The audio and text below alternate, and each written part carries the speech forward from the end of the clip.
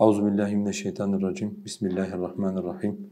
Elhamdülillahi rabbil alamin. Ve salatu vesselamu ala rasulina Muhammedin ve ala alihi ve sahbihi ecmaîn. Amma ba'd. E, Peygamber Aleyhissalatu vesselam'ın hayatı ve daveti kitabını okumaya devam ediyoruz.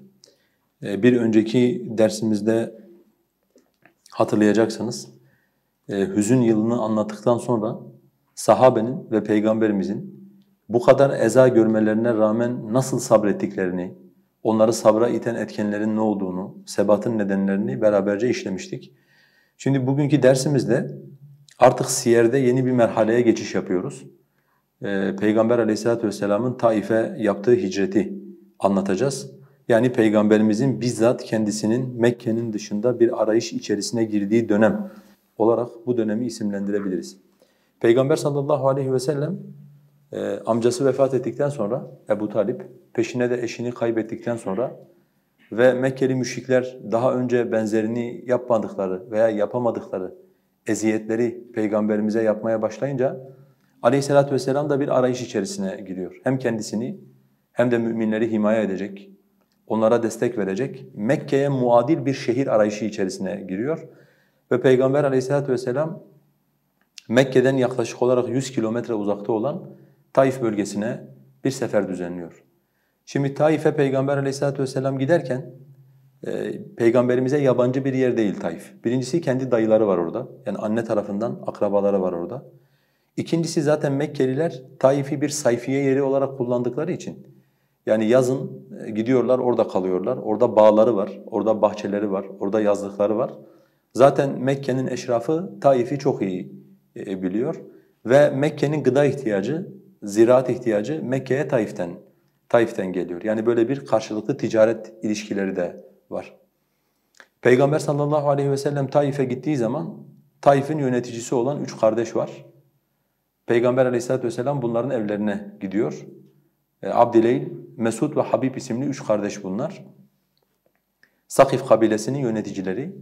Gidip onlara tevhid davetini anlatıyor ve onlardan beklentilerini söylüyor. Yani Mekke'de davet yapamadığını, bir sıkışıklık içerisinde olduğunu, eğer kendisini himaye ederlerse Taif'te e, Allah'a davetine devam etmek istediğini, onlardan hem buna izin vermelerini, davete icabet etmelerini hem de kendileri, kendisini korumalarını istiyorlar.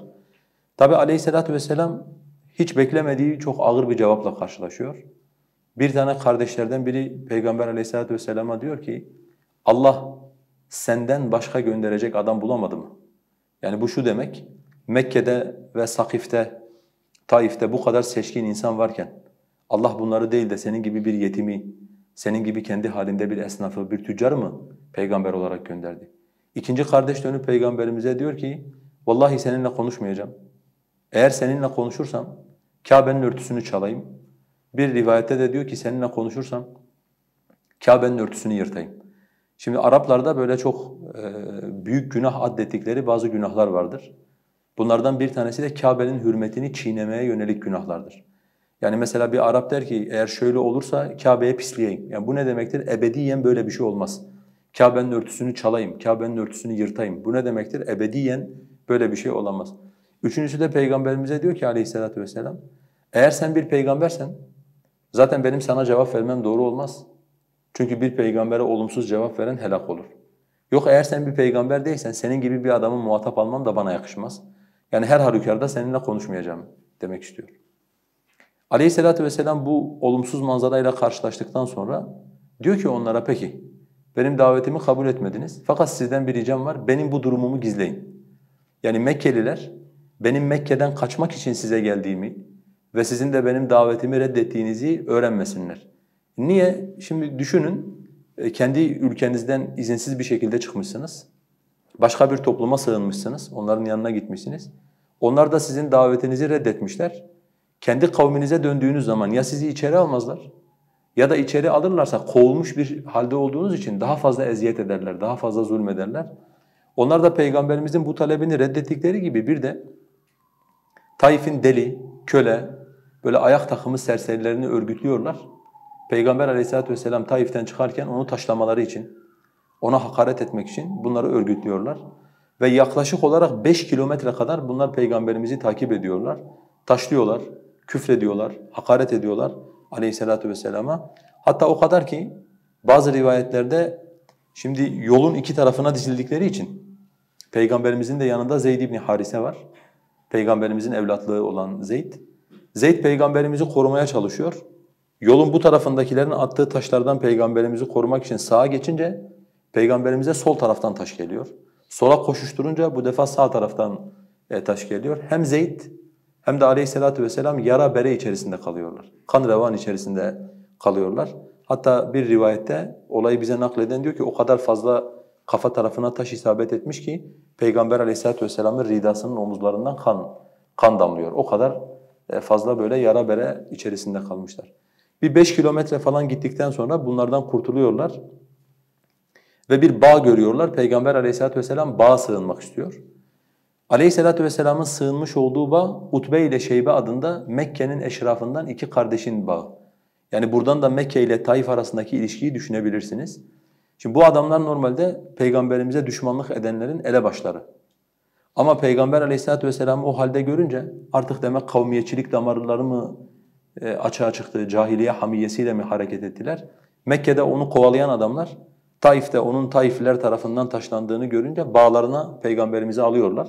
Müsaade ediyorlar bağa girmesine ve haline acıdıkları için de köleleri olan Addas ile tabağın içerisine bir salkım üzüm koyup Peygamber aleyhissalatu vesselama Taif üzümünden ikramda bulunuyorlar. Addas Peygamber aleyhissalatu vesselamın yanına gelince Peygamber aleyhissalatu vesselam üzümden alırken Bismillah diyor. Şimdi Hudeybiye anlaşmasını hatırlayın. Müşrikler Bismillah kelimesini kullanmazlar. Bismikallahümme derler. Yani onların kullanım tarzı Bismikallahümme'dir. Senin isminle ey Allah'ım derler. Ama Peygamber aleyhissalatu vesselam Bismillah, Allah'ın adıyla deyince Addas da bunu duyunca diyor ki bu yörenin halkı bunu bilmez. Sen bunu nereden biliyorsun? Bu ifadeyi, Bismillah ifadesini. Aleyhissalatu vesselam da ona soruyor. Sen nerelisin? Ben Ninovalıyım diyor. Ninova, Irak e, bölgesinde bir yer. Bugünkü Irak dediğimiz yerde Yunus peygamberin de yaşamış olduğu bir yer. Sen benim kardeşim Yunus'un memleketi olan Ninova'dan mısın deyince sen Yunus'u nereden biliyorsun diyor bu defa.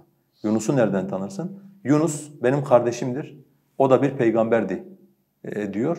Her ne kadar rivayetlerde açıkça söylenmese de Addas'ın orada iman ettiğini, Peygamber aleyhissalatu vesselamın davetini kabul ettiğini siyer alimleri e, kabul ediyorlar bu diyalogtan sonra. Daha sonra Peygamber aleyhissalatu vesselam o bağda biraz dinlenirken o bağda yaptığı bir dua var aleyhissalatu vesselamın.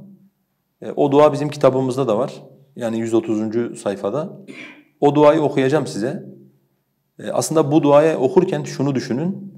E, amcasını kaybetmiş, hanımını, yol arkadaşını kaybetmiş, memleketinden bir umutla ayrılmış, bir sığınak ararken gittiği yerden de kovulmuş, yersiz, yurtsuz, vatansız, e, taşlanmış, kovulmuş bir peygamberin kalp kırıklığını ifade eden bir dua bu.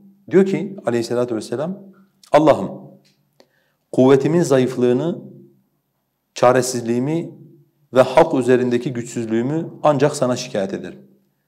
Yani e, bu duanın bu cümlesinde aleyhissalatu vesselam artık o kadar güçsüz düşmüş ki, güçsüz olduğunu, çaresiz olduğunu, kimsesiz olduğunun e, itiraf ediyor ve Allah'a diyor ki halimden şikayet etmiyorum. Yani kimseden de şikayet etmiyorum. Sadece kendi halimi sana şikayet ediyorum. Bu bir nübüvvet makamıdır. Yakup Aleyhisselam'dan hatırlayın. İnneme eşku bessi ve huzni ilallah. Derdimi ve tasamı, hüznümü sadece ve sadece Allah'a şikayet ediyorum demişti Yakup Aleyhisselam. Peygamberler de şikayet ederler. Ama onların şekvasıyla bizim şekvamız arasındaki fark biz söyleniriz, mızmızlanırız. İnsanlardan şikayet ederiz, zamandan şikayet ederiz, şartlardan şikayet ederiz. Peygamberler ise sadece içinde bulundukları durumu Allah'a arz ederler, Allah'a şikayet ederler. Bu da bir kulluk makamıdır zaten. Buna şekva makamı diyoruz. Peygamber aleyhissalatu vesselam halini Allah'a şikayet ediyor. Ey merhametlilerin en merhametlisi, güçsüzlerin Rabbi sensin. Sensin benim Rabbim. Beni kime bırakıyorsun? Beni asık suratla karşılayan yabancılara mı? Yoksa işimi eline teslim ettiğin bir düşmana mı? Yani diyor ki aleyhissalatu vesselam, şu an o kadar çaresizim ki eğer sen bana sahip çıkmazsan, benim elimden tutmazsan benim halim nice olur? Ya sen beni kime terk edeceksin ki? Yanına gittiğimde bana öfkeyle, asık suratla, nefretle davranan insanlara mı? Yoksa benimle ilgili eline bir yetki geçtiğinde beni yok etmekte zerrece tereddüt etmeyecek olan azgın, tağutlaşmış insanlara mı? Kime beni bırakacaksın? Eğer bana karşı gazap etmediysen ben hiçbir şeye aldırış etmem. Fakat afiyetin benim için daha engindir, daha hoştur. Gazabına uğramaktan ve azabına layık olmaktan, karanlıkları yırtıp aydınlatan, dünya ve ahireti selamete ulaştıran zatının nuruna sığınıyorum. Sadece sana iltica ediyor ve senin rızanı diliyorum. Senden başka hiçbir güç ve kuvvet yoktur. Şimdi diyor ki aleyhissalatü vesselam, şu an içinde bulunmuş olduğum bir hal var. Bu halin iki nedeni olabilir. Ya sen bana gazap ettiğin için, öfkelendiğin için ben bu kadar çaresiz, kovulmuş bir haldeyimdir. Ya da öyle değildir, bu sadece benim için bir imtihandır. Eğer sen bana gazap etmemişsen, senin öfkenden kaynaklanmıyorsa, benim bir hatamdan, bu hatama olan öfkenden kaynaklanmıyorsa, yaşadığım şey başım gözüm üstüne diyor aleyhissalatü vesselam. Yeter ki sen bana öfkelenmiş olma, yeter ki sen bana kızmış olma, yeter ki sen beni cezalandırmış olma. Peki diyelim bu bir cezaysa, yani Allah Celle Celaluhu ona bu bir ceza olarak bunu vermişse, bir imtihan olarak değil, o zaman da diyor ki dünyayı ve ahireti aydınlatan, selamete erdiren nuruna sığınırım. Yani gazabına uğramışsam da yine senden kaçmam. Yine sığınacağım yer bizzat senin kendindir. Senin eğer bana senden bir gazap, bir öfke erişmişse sığınacağım yer senin nurundur, senin rahmetindir diyor. Ama şunu da söylüyor Aleyhisselatü vesselam. Tabii ki diyor senin afiyetin benim için daha layık ve benim için daha uygundur. Yani asıl istediğim senden bana erişecek olan bir afiyettir. Bu dua Peygamber Aleyhisselatü vesselamın bu duası e, böyle defalarca okunulması gereken e, bir dua. Çünkü hatırlıyorsanız daha önce de bu konuya kısmen temas etmiştik. Bir insanın kalbinde bir duygu varsa o duygu onun diline kelime olarak yansır. Siz o kelimeleri tekrar ettiğiniz zaman o sözü söyleyen insanın duygusu sizin kalbinizde oluşmaya başlar. Peygamberlerin dualarının özelliği budur zaten. Mesur duaların en büyük özelliği budur. E, benim duamla senin duanla bir peygamber duası arasındaki fark nedir? Bizimki sadece bir taleptir, bir istektir. Ama peygamberin duası kalbinde coşan bir pınar vardır. Bazı duygular vardır, kulluk duyguları vardır. Bunlar dolar dolar dolar ve taşarken dua olarak dışarıya taşar. Sen o duayı peygamberlere uymak niyetiyle tekrar ettikçe Allah Celle Celaluhu o sözlerle senin kalbinde de benzer duygular, benzer duygular yaratır. Bu dua da Peygamber Aleyhisselatü vesselamın duasıdır diyelim. Daha sonra Peygamber sallallahu aleyhi ve sellem e, bu işte biraz dinlendiği, yaralarını sardığı e, bağdan, Utbe ile Şeybe'nin bağından çıktı ve e, Karnul Menazil denilen bir bölgeye geldi aleyhissalatu vesselam. Bu bölgeye geldiği zaman e, tabii şimdi dinlendi diyoruz ama bu kadar ağır bir lince maruz kalmış birinin birkaç saatliğine bir bağda gölgelenmesinin yaralarını sarmayacağını, onu iyileştirmeyeceğini herhalde izah etmeme gerek yok. Yani aslında hala yaralı peygamberimiz, hala kalbi kırık bir vaziyette. Karnul Menazil bölgesine geldiği zaman başını kaldırdığı zaman Cibril'i görüyor aleyhissalatu vesselam ve bize bir hadise anlatıyor Karnul Menazil'de yaşanan. Bu hadiseyi anlatmasının da bir vesilesi var. İmam Bukhari'nin bize aktardığı kadarıyla Ayşe annemiz bir gün peygamberimize diyor ki ey Allah'ın Resulü Uhud gününde yaşadığın zorluktan daha zor bir gün yaşadın mı? Şimdi sahabenin zihninde yaşanmış olan en zor gün Uhud günüdür. Neden? Çünkü peygamberimizin seçkin sahabeleri şehit edilmiştir. Peygamberimiz ölüm tehlikesiyle karşı karşıya kalmıştır. Dişi kırılmıştır, yanağı yaralanmıştır. Yani çok zor bir durum e, atlatmıştır. Aleyhisselatü vesselam evet diyor ben Uhud gününden daha zor bir gün yaşadım. Akabe gününde diyor, bu Akabe bizim daha sonra göreceğimiz Akabe beyatı değil, bu bir mekanla ilgili söylenmiş olan bir şey. O gün ben işte diyor Taif'e gittim. Taif'te başına gelenleri anlatıyor. Daha sonra diyor ben Taif'ten dönürken Karnul Menazil bölgesine geldiğim zaman bir baktım kafamı kaldırdım Cibril. Cibril bana dedi ki Allah Celle Celaluhu senin o kavme götürdüklerini de duydu. O kavmin sana verdiği cevabı da duydu. Ve Allah sana bir melek gönderdi. Bu melek dağların meleğidir. Dağların meleği de peygamberimize dedi ki eğer istersen Allah bana izin verdi.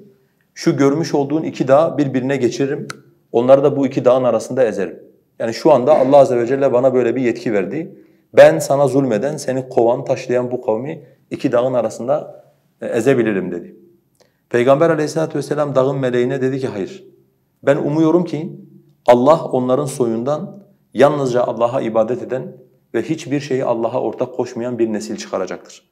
Böyle bir ümidim olduğu için ben bu topluluğun yok olmasını, bu topluluğun yeryüzünden silinmesini istemiyorum dedi. Allah'ın ona sunmuş olduğu bu teklifi Peygamber aleyhissalatu vesselam söylemiş olduğumuz gerekçeyle kabul etmedi. Daha sonra Peygamber aleyhissalatu vesselam tekrar yola devam etti. Mekke yakınlarında Nakhla adında bir bölge var, Nakhla Vadisi. Orada dinlenmek için bir de Mekke'ye nasıl gireceğinin hesaplarını yapmak için Peygamber aleyhissalatu vesselam Zeyd ile beraber orada konakladılar Nakhla bölgesinde. Ve konakladıkları o zaman da işte Peygamber aleyhissalatu vesselam namaz kılıyor. Namaz kılarken de Kur'an-ı Kerim Kur'an-ı Kerim'den bazı ayetler okuyor. Peygamberimizin de haberi yokken cinlerden bir taife Peygamber aleyhissalatu vesselam'ı namazda dinliyorlar. İşittikleri Kur'an'dan etkileniyorlar ve iman ediyorlar sallallahu aleyhi ve selleme. Bunu bir Allah Celle Celaluhu Ahkaf suresinin en sonunda, son sayfasında bir de Kur'an-ı Kerim'de Cin suresi dediğimiz surenin girişinde Allah Celle Celaluhu bunu anlatıyor. O an Peygamberimizin durumdan haberi yok. Çünkü daha sonra Allah Azze ve Celle Peygamberimize haber veriyor. Diyor ki işte is sarafna ileyke neferan minel cin. Biz cinlerden bir topluluğu sana yönetmiştik ki senin okumuş olduğun Kur'an'ı Kur'an'ı duysunlar diye. Veya Cin suresinde Peygamber sallallahu aleyhi ve selleme diyor ki Allah azze ve celle kul uhiye ileyye ennehu ennehu istema'a neferun minel cin. Cinlerden bir topluluk beni dinledi ve bu bana vahyedildi diyor Peygamber sallallahu aleyhi ve sellem. Şimdi bu cinler iman edince Allah azze ve celle daha sonra ayet indirip orada yaşanan hadiseleri Peygamber sallallahu aleyhi ve selleme bildiriyor. Bunu da bir teselli gibi kabul edebilirsiniz. Yani Peygamberimizin o kadar reddedildiği, o kadar dışlandığı bir ortamda başka alemlerden varlıkların Peygamberimizi dinlemesi ve ona iman etmesi onun için bir teselli. Sonra e, şimdi Mekke'ye giremiyorlar. Zeyd ibn Harise de Peygamberimize soruyor. Ne olacak bizim bu halimiz? Yani Mekke'den zaten zor durumda çıktık. Taif'e gittik, Taif'ten kovulduk. Yine Mekke'ye geldik ve şu anda biz Mekke'ye giremiyoruz. Ne olacak bizim halimiz? Aleyhisselatü vesselam diyor ki hiç endişelenme. Allah mutlaka bize bir çıkış kapısı açacaktır. Allah mutlaka bize bir çıkış kapısı açacaktır. Sonra Peygamberimiz üç tane Mekke'nin tağutuna haber gönderiyor. Bunlardan bir tanesi Ahnas İbn Şurayk. Peygamberimize en fazla eza verenlerden bir tanesi. Bunlardan bir tanesi Suheyl İbn Amr. Bunlardan bir tanesi de Mutaym İbn Adi. Ahnas İbn Şurayk seni himayeme alamam Mekke'ye sokmak için e, diyor ve kendine göre bir gerekçe zikrediyor. Ben bir anlaşmanın taraftarıyım diyor. Bu anlaşmaya taraftar olanlar seni himaye edemezler, geri çeviriyor. Süheyl İbni Amr'a bir adam gönderiyor. Süheyl İbni Amr da dinledikten sonra peygamberimize haber gönderiyor. Bizim kabilemiz senin kabilenden birini korumaz diyor Süheyl İbni Amr. Yani Mekke'de çünkü oluşmuş bir kabileler hiyerarşisi e, var. Ona göre cevap veriyor. Muteb İbni Adi'ye gönderince Muteb İbni Adi ismini ekonomik boykottan da hatırlayacaksınız. Muteb İbni Adi Peygamber Aleyhisselatü vesselam'ı himaye edeceğine dair Peygamberimize söz veriyor. Aleyhisselatü vesselam geliyor. Kabe'nin yanında iki rekat namaz kılıyor. Bu arada Mut'im ve Mut'im'in çocukları da silahlanmışlar. Peygamberimizin etrafında bir çember oluşturmuşlar. Mut'im ayağa kalkıyor ve diyor ki Abdullah'ın oğlu Muhammed bundan sonra artık benim himayemdedir. Kimse ona karışamaz. Ve Peygamberimizi evine girinceye kadar da ona eşlik ediyorlar. Aleyhisselatü vesselam eman içerisinde evine giriyor. İşte orada Ebu Cehil Mutim İbni Adi'ye soruyor. Daha önce de anlatmıştım. Ey Mutim diyor. Sen iman mı ettin Muhammed'e yoksa Muhammed'i himaye mi ettin? Mutim İbni Adi de diyor ki hayır ben iman etmedim. Yalnızca onu himaye ettim. O da diyor biz senin himaye ettiğini himaye ederiz. Çünkü iman etmiş olsa o da peygamberimiz gibi olacağı için himayesinin bir anlamı kalmayacak. Böylece peygamberimiz Mutim İbni Adi'nin himayesinde Mekke'ye tekrardan geri dönmüş. E, geri dönmüş oluyor. Bu siyerde önemli bir e, kesit. Çünkü bundan sonra artık Peygamber aleyhissalatu vesselam arayışlarını hızlandıracak. Taif kapısı da kendisine kapandıktan sonra artık aleyhissalatu vesselam bulduğu her kabileye gidecek ve bulduğu her kabilenin kendisini koruması için onlara bir teklif teklif götürecek. Biz bu dönemi arayışlar dönemi diye isimlendirebiliriz. Aleyhissalatu vesselamın e, arayış dönemi diye isimlendirebiliriz. Şimdi bu e, Taif meselesini anlattıktan sonra buradan çıkaracağımız tabi bazı dersler var. Ee, onlarla ilgili konuşacağız inşallah. Şimdi birinci konuşacağımız konu şudur.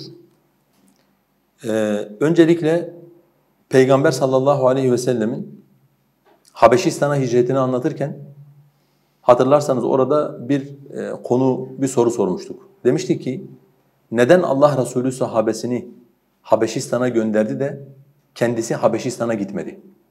Oysa Habeşistan'a gitse onu koruyacak, kollayacak, onu himaye edecek bir yapı var. Orada hatırlarsanız bir cevap vermiştik. Demiştik ki çünkü Allah Resulü'nün kafası çok net. Yani Peygamberimiz duygusal reflekslerle hareket eden bir lider değil. Mekke'de sıkıştık.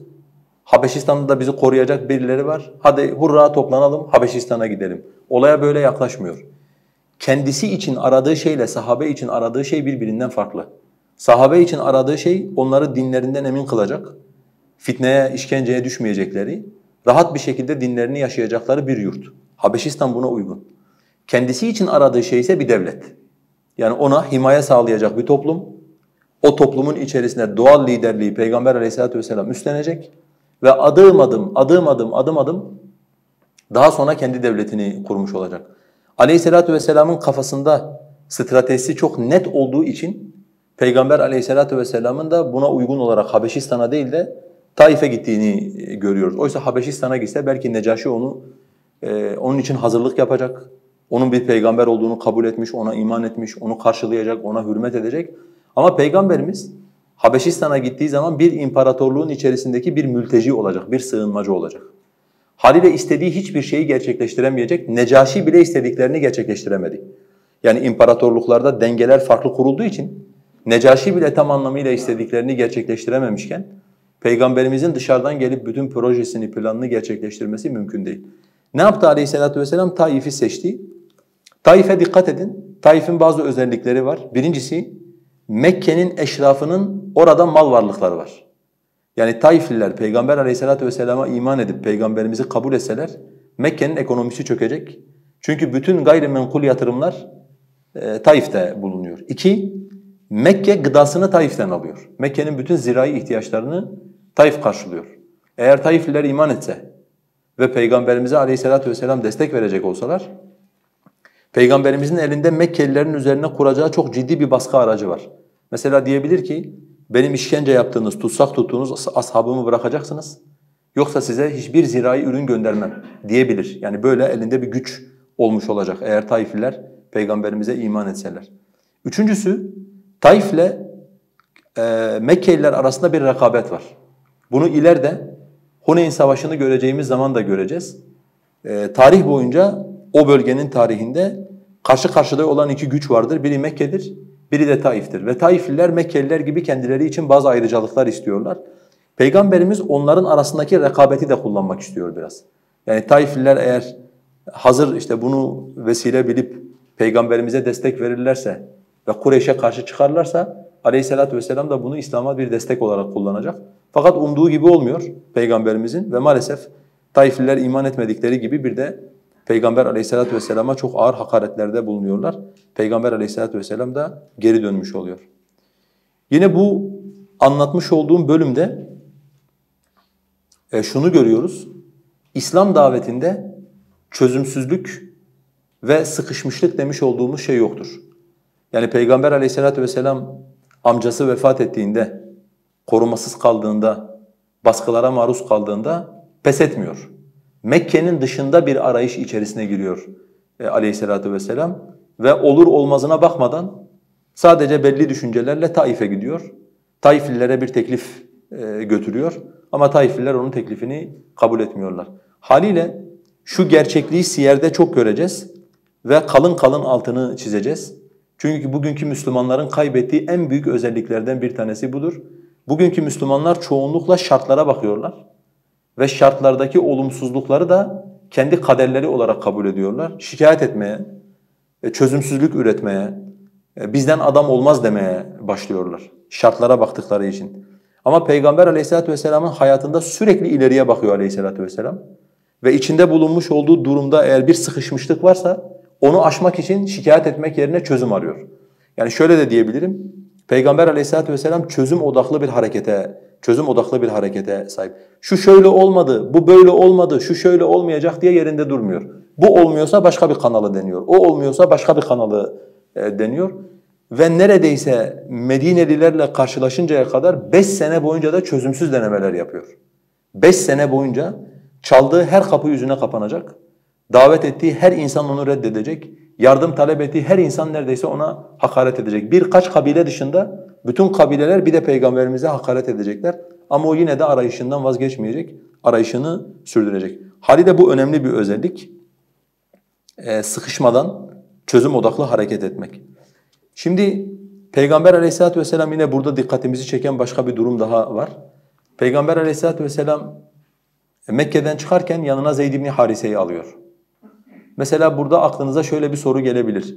Niye aleyhissalatu vesselam Ömer gibi, Ebu Bekir gibi, Hamza gibi güçlü figürleri almadı yanına?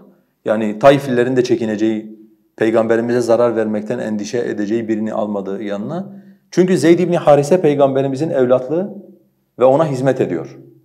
Peygamberimizin Zeyd ile beraber yapacağı bir yolculuk, Zeyd ile beraber hareket etmesi, Mekke'nin dışına çıkması kimsenin dikkatini çekmez. Çünkü zaten 24 saat beraberler. Ama aynı peygamber eğer Mekke'den Ebu Bekir'le, Hamza'yla e, veya Ömer'le çıkmaya kalksa bütün Mekke'nin dikkatini çekecek. Yani onların bir şey yaptıklarını, bir şeyin peşinde olduğunu düşünecekler. O dönemde de Peygamberimiz güvenlik tedbirlerine aşırı dikkat ettiği için ve Mekkelilerin gözünden uzak bir şekilde bu arayışlarını sürdürdüğü, sürdürdüğü için yanına sürekli yanında olan, dikkat çekmeyecek olan Zeyd ibn Harise gibi birini alıyor. Yine Zeyd ibn Harise'yi anlatırken bir şey dikkatinizi çekmiş olmalı. Sahabenin ayırıcı özelliklerinden, ayırıcı vasıflarından bir tanesi şudur. Kesinlikle sahabenin canı peygamberin canına fedadır. Bunu söz olsun diye veya edebiyat parçalamak için söylemiyorlar. Yani anam babam sana feda olsun ey Allah'ın Resulü dediklerinde bu sözü iliklerine kadar hissediyorlar ve bu sözün hakkını veriyorlar. Daha sonra bunu hicrete de göreceğiz. Ebu Bekir radıyallahu anh'ın yol boyunca peygamberimizi korumak için gösterdiği çabada da göreceğiz. Daha sonra bunu savaşlarda da göreceğiz. Yani Peygamber aleyhissalatu vesselamın ashabı ona bir zarar gelmesin e, diye. Çünkü biliyorsunuz Allah Resulüne iman etmek, Allah Resulünü sevmek, Allah Resulünü kendi canımızdan aziz bilmek ve Allah Resulüne gelecek olan bir e, zararı def etmek için kendimizi feda etmek bunlar bizim ona olan imanımızın gereğidir. Yani Muhammedun Resulullah şahitliğinin gereğidir.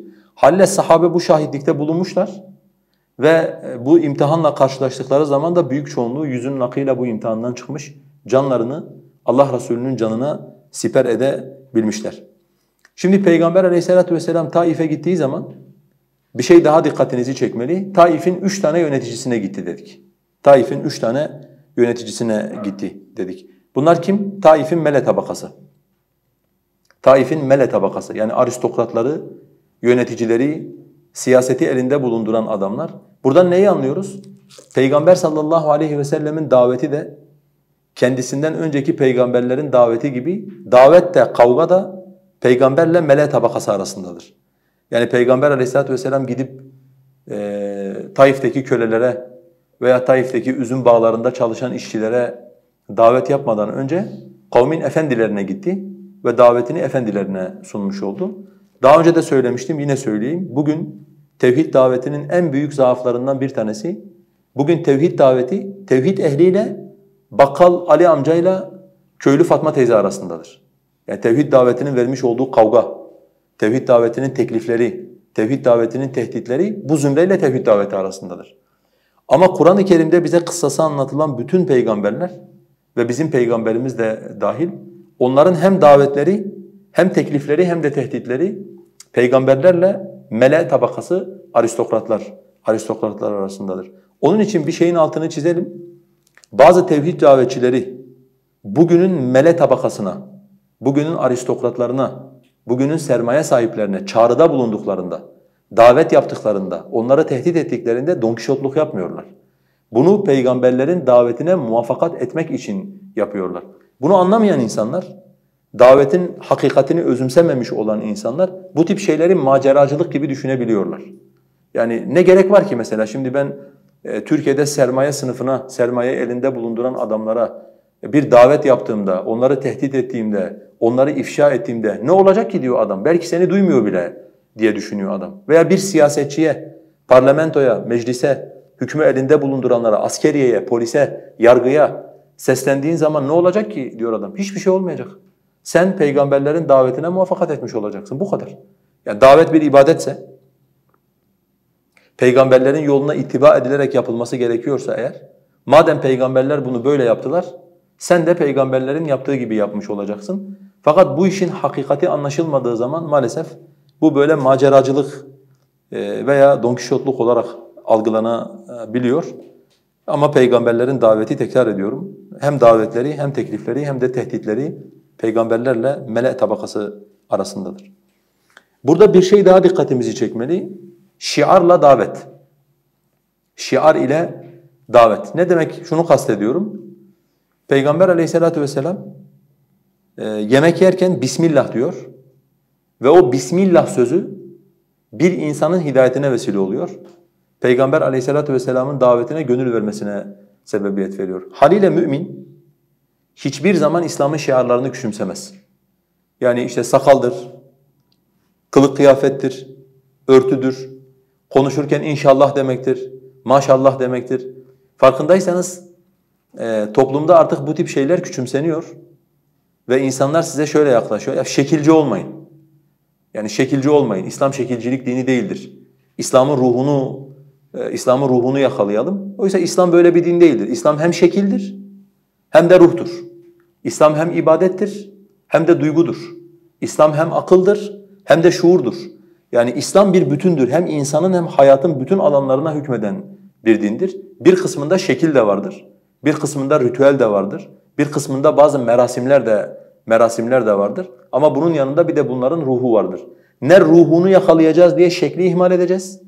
Ne şekli yakalayacağız diye ruhunu ihmal edeceğiz. Her ikisini bir arada bulunduracağız ve bazen din doğru yaşandığında, sünnete ittiba edildiğinde karşınızdakine hiçbir şey anlatmasanız bile dini yaşıyor olmanız bile bazı insanların dikkatini çekiyor ve bazı insanların iman etmesine, bazı insanların hidayet bulmasına vesile olabiliyor. Buna da şiarlarla e, Allah yoluna davettir diyebiliriz. Yani bizim kimliğimiz, dış görünüşümüz bu da davetimizin bir parçasıdır. Bunu unutmayın.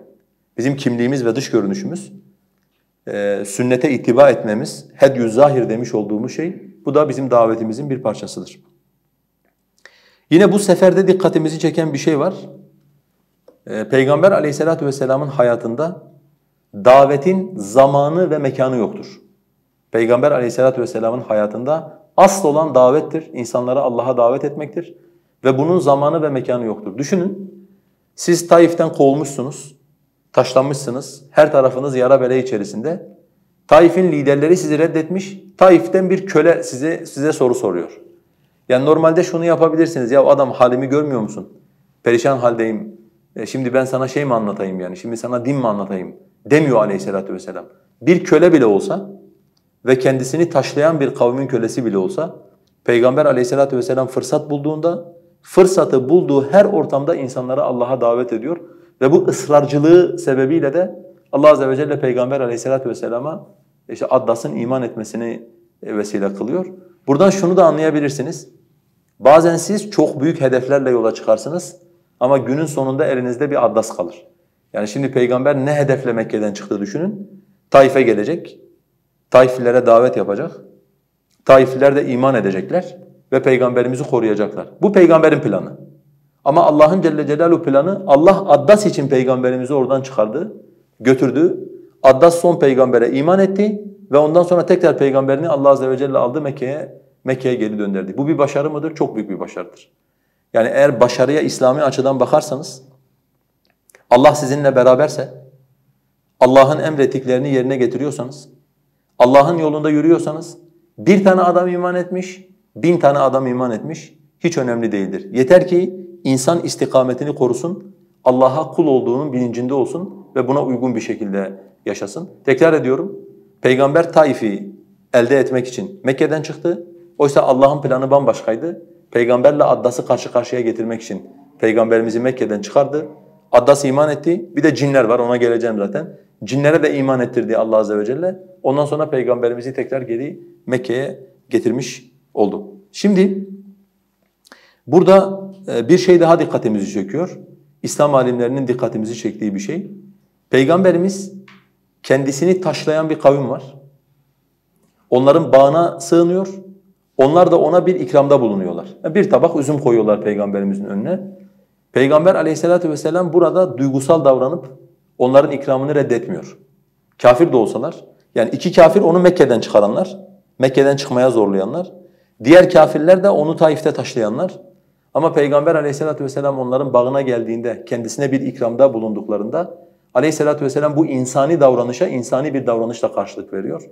Duygusal bir refleksle sizi gide Allah düşmanları diyerek değil, o tabağı alıyor ve o tabaktakileri yiyor aynı zamanda. Ki size yapılan ikrama en büyük ikram, size ikram edilen şeyden tatmanızdır. Onun tadına bakmanızdır. Bu da Peygamber aleyhissalatu vesselamın hangi şart ve durumda olursa olsun duygularla, asabiyetle, öfkeyle değil, akılla, hikmetle, insani duygularla hareket ettiğini bize gösterir ki bu özellikle bizim gibi her taraftan zulme uğrayan e, insanlar için çok önemli bir ölçü. Çünkü zulüm insanın ayarlarını bozar. Zulüm insanın ayarlarını bozduğu için bazen insan insani reflekslerle değil duygusal reflekslerle hareket eder. Öfkeyle hareket eder, asabiyetle hareket eder. Ama her konuda olduğu gibi bu konuda da Peygamber aleyhissalatu vesselam'da bizim için güzel bir örneklik e, vardır. En düşman olduğumuz kavmin içinden bile birileri bize bir ikramda bulunmuşsa bu bir insaniyettir. Bize düşen de bu insanlığa e, yine insaniyetle karşılık vermektir. Aleyhissalatu vesselamın yaptığı gibi. Şimdi e, burada yine dikkatimizi çeken Aleyhissalatu vesselamın örnekliğinde bu dağ meleği meselesini anlattık. Ee, Allah Resulü sallallahu aleyhi ve sellem dese ki o anda dağı birbirine geçir ve bunları helak et. Bu onun hakkı mıdır? Hakkıdır. Zaten hakkı olmasa Allah azze ve celle ona bir melek gönderip böyle bir teklifte bulunmaz. Ama peygamberimiz bize burada çok önemli bir şey öğretiyor. Asıl olan insanları kazanmaktır. Asıl olan insanları yok etmek değildir. Asıl olan insanları kazanmaktır. Asıl olan insanları yok etmek değildir. Bunun için de Peygamber aleyhissalatu vesselam bu teklifi geri çeviriyor ve orada öyle bir söz söylüyor ki insanın bu kadar zorluğa, bu kadar e, mahrumiyete, bu kadar dışlanmışlığa rağmen nasıl bu kadar adanmış bir şekilde bir dava adamı olduğunu sırrını da bize veriyor. Umuyorum ki Allah onların soyundan, onların sülbünden yalnızca Allah'a ibadet eden ve hiçbir şeyi ona ortak koşmayan bir topluluk çıkaracaktır. Eğer kalbinizde böyle bir umut yoksa, böyle bir umut pınarı çağlamıyorsa, bu kadar dışlanmaya, bu kadar nefrete karşı davanızda sebat etmeniz mümkün değildir. Ayarlarınızın bozulmaması, öfkelenmemeniz, yoldan çıkmamanız mümkün değildir. Çünkü peygamberde bir umut var. Ve onu diri tutan şey de tam olarak o umut. Ya bir gün gelecek, bu insanlar beni anlayacaklar, bu insanlar alemlerin Rabbi olan Allah'a kulluk edecekler. Buna dair o kadar güçlü bir umudi var ki, daha bir saat önce kendisini taşlayan, daha bir saat önce kendisini kovan, kendisini öldürmeye kalkan adamların bile çocuklarından birilerinin iman edebileceği ümidiyle Peygamber aleyhissalatu vesselam onların helak olmasını, helak olmasını istemiyor. Mesela bugün özellikle davet ehlinde var olan bıkkınlığın en büyük nedeni bu umudun olmamasıdır. Ee, daha önce de değinmiştim, yine söyleyeyim. Gözünü şartlara diken adam sadece ümitsiz olur. Gözünü şartlara diken, bugüne diken, ayağının ucuna bakan adam sadece ümitsiz olur. Ama gözünü ufka diken, Allah'ın vaadine diken, peygamberlerin siretine diken adam her zaman ümit var olur. Her zaman yüreğinde bir ümit olur. İnsanların bir gün onu anlayacağına, bir gün iman edeceklerine, Allah'a kulluk edeceklerine veya Allah'a kulluk eden insanlara destekçi olacaklarına, yardımcı olacaklarına dair yüreğinde bir umut taşır. Kim bıkmak istemiyorsa, yol yorgunu, yol düşkünü haline gelmek istemiyorsa nasıl ümit var olacağını öğrenmek zorundadır. Yani o kalbindeki ümit pınarını canlı tutmak, o kalbindeki ümit çınarını canlı tutmak zorundadır.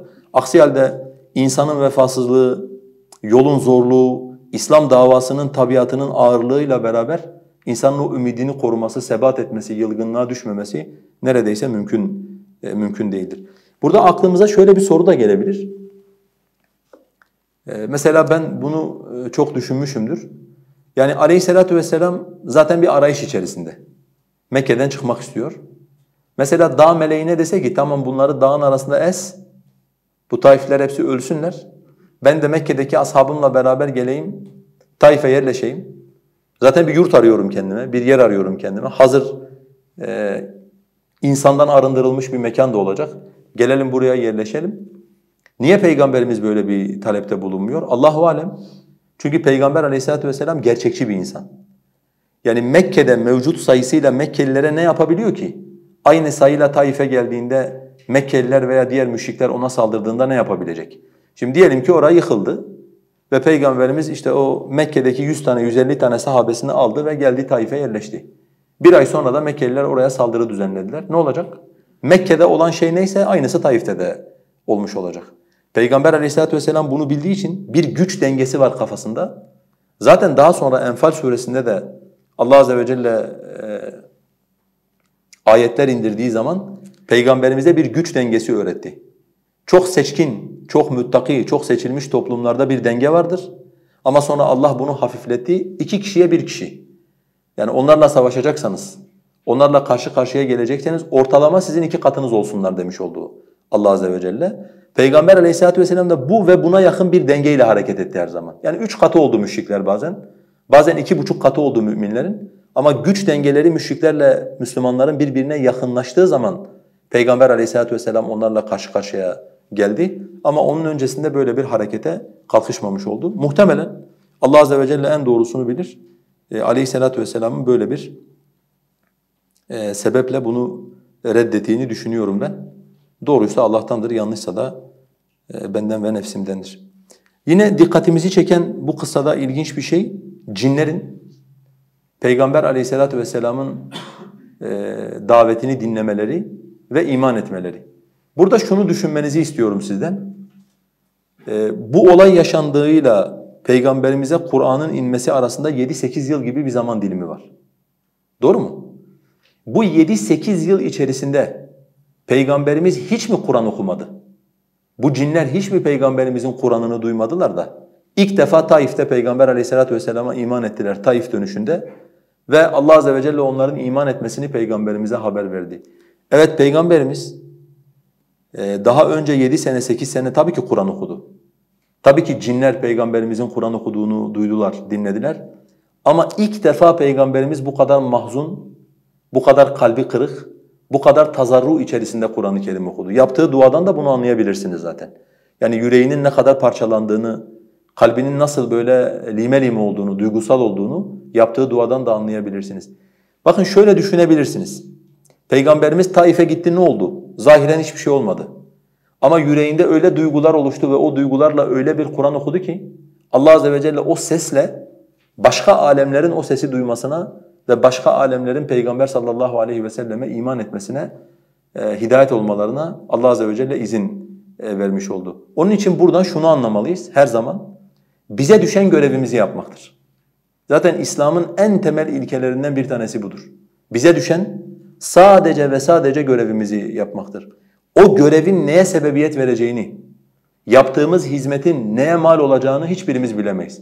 Sen Taif'e gidersin, Taifli iman etsin diye Allah Taifli'ye iman ettirmez. Hiç bilmediğin yerin ve göğün ordularından bir grubu Allah azze ve celle sana iman ettirir, sana destekçi kılar.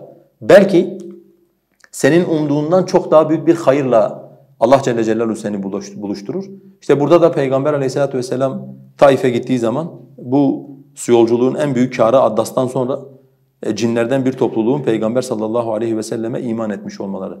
Sonra bir de şunu düşünün, e, bu cinlerin olayıyla beraber Allah'ın yardımı her zaman zorlukla beraber gelir.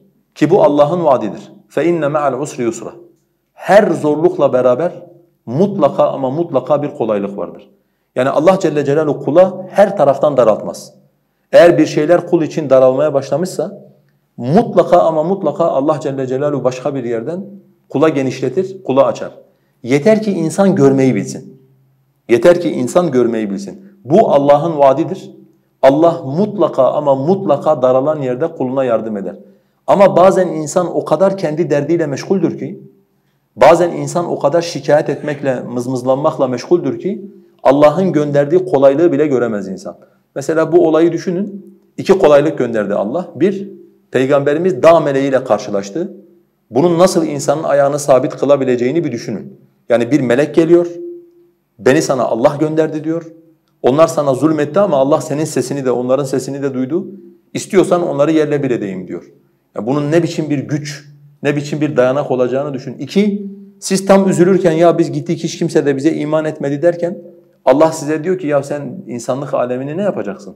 Cinler aleminden büyük bir topluluk sana iman ettiler diyor ve seni bununla müjdeliyor. Orada anlıyorsun ki senin yapmış olduğun davet yalnızca beşere, insana yönelik bir davet değildir. Görünmeyen varlıklardan da bu davete kulak veren, inanan ve reddedenler var. Bunu anlamış oluyorsun. Bu Peygamberimizin hayatında yaşanan kolaylaştırma aslında her insana yönelik Allah'ın Celle Celaluhu bir vaadidir. Fakat dediğim gibi bazen insan görmediği zaman e, maalesef göremeyebiliyor.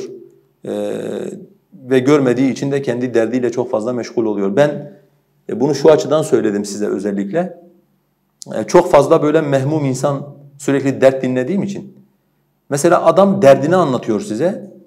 Aslında derdini anlatırken Allah'ın kolaylaştırdığını da anlatıyor işin içerisinde ama farkında bile değil.